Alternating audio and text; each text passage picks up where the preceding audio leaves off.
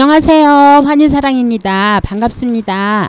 날씨가 많이 쌀쌀해졌죠? 감기 특별히 조심해야 될 것 같아요. 저도 지금 목이 조금 안 좋긴 해요. 그래서 생강, 생강청도 먹고 그러고 있답니다. 감기하고 코로나하고 비슷하다고 하니까 정말 조심해야 될 것 같아요. 티보치나 꽃이 이렇게 큰 꽃이 정말 청보라색으로 이렇게 활짝 또 폈어요. 이번 거는 한 이틀은 간 것 같습니다. 이 아이들도 스트레스 안 받는 아이들은 조금 오래 가는 것 같아요. 전번엔 처음 거는 하루 만에 떨어졌거든요. 티보치나 키우기가 다소 어렵긴 해도 정말 예쁘네요. 꽃이. 그렇죠? 아, 또 이렇게 택배가 왔네요. 택배 상자는 언제나 기쁘죠. 반갑고 요즘엔 어, 집에 있는 시간이 많다 보니까 또 집에서 또 단풍 드는 그런 모습도 보고 싶은 마음이 자꾸 생겨서 제가 자엽적으로 많이 보게 되고 또 색감이 있는 아이들을 어, 데려오고도 싶고 또 단풍이 드는 아이들을 또 데려오고도 싶고 그래요. 이 아이는 전에부터 눈독은 들이고 있었어요. 정원에 많이 있더라고요. 정원에는 그렇게 많이 눈에 띄지는 않아요. 색감이 있어가지고. 근데 집에 데려다 놓으니까 이렇게 이쁘네요. 자, 보세요. 정말 집에서 단풍 든 것처럼 원래 이렇게 잎이 이런 색감으로 나는 아이인데요. 또 새싹이 나올 때는 또 이렇게 불구스름하게 나와서 꽃처럼 되는 아이예요. 자엽 풍년아라고 하는데요. 정말 집에다 갖다 놓으니까 너무나 예쁘네요. 아직 제가 애목대가 없긴 한데 이 아이는 지금 애목대로 수영을 잡혀져 있어서 더 예쁜 것 같습니다. 꽃도 지금 펴 있죠. 이 아이는 꽃이 참 특이하게 생겼죠. 색종이를 오려 붙여 놓은 것 같은 그런 꽃 먼지 털이개처럼 짝짝 갈라지는 그런 꽃인데요.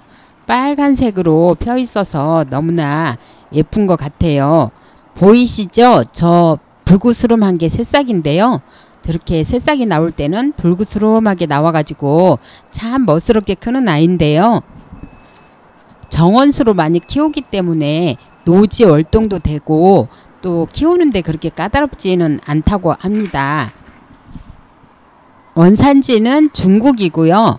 꽃은 봄에 피는데 1년에 한 서너 번 핀다고 해요. 또 온도만 잘 맞으면 연중 꽃이 또 핀다고 합니다. 지금도 꽃이 맺혀 있고 꽃이 펴 있는데 하나씩 이렇게 피는 것 같아요. 자엽 풍년화는 어, 봄, 여름, 가을, 겨울 모두가 다 이런 색감을 가지고 있는데요. 겨울에는 또 잎이 다 떨어져서 앙상한 가지만 남게 되는데 베란다에서는 그래도 잎이 몇 개 남아 있다고 합니다. 봄에는 이제 잎이 다 떨어지고 꽃이 가지마다 무수히 많은 꽃이 펴서 정말 예쁜 자태를 뽐낸다고 해요. 정말 기대되는 아이죠. 햇빛과 통풍이 좋아야 되는데 방그늘에서도 잘 자란다고 합니다. 저는 방그늘 아이들을 좋아해요. 베란다에서 키우기가 좋더라고요. 꽃봉오리 같죠? 꽃봉오리들이 몇 개 달려 있어서 꽃을 또 어, 몇개 또 볼 수 있을 것 같아요. 꽃이 어, 겨울에도 펴준다고 하니까 정말 기대돼요. 이 새싹 나온 색감 좀 보세요. 너무나 예쁘네요. 감탄이 절로 나와. 와 정말 예쁘다. 자엽 풍년화 꽃말은 부기래요. 부기. 부기를 누릴 수 있을 것 같습니다. 정말 부기 영화를 누릴 것 같아요. 자엽 풍년화도 지금 처음 접하는 거고 처음 이제 데리고 와봤는데요. 지금 사기 전부터 이제 검색도 해보고 또 남이 키우는 블로그 그런 것도 이제 보고 해서 제가 말씀드린 거고요. 지금 저는 이제 처음 키우는 거랍니다. 분갈이는 아직 안 해줬는데 마사토를 많이 섞어서 좀 물 빠짐이 좋게 해주면 좋고요. 물은 이렇게 손으로 만져봐서 흙이 어, 들어가지도 않고 손에 어, 수분기가 하나도 없을 때 물을 흠뻑 주면 된답니다. 물을 너무 말리셔도 안 될 것 같아요. 물을 어, 아주 좋아하진 않지만 그래도 조금은 좋아하는 그런 식물인 것 같아요. 제가 처음 이제 식물을 들여서 또 영상에 이렇게 담는데요.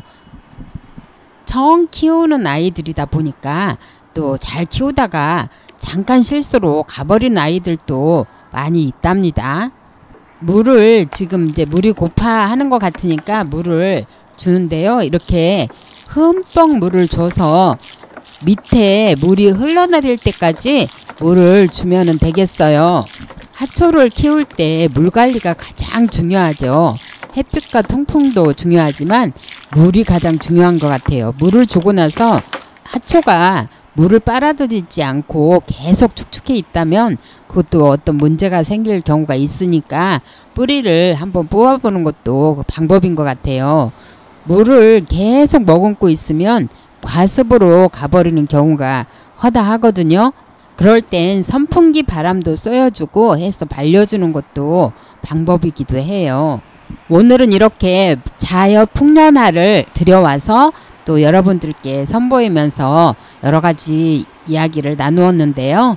예쁘게 키우면서 또 예쁜 모습 많이 보여드릴게요.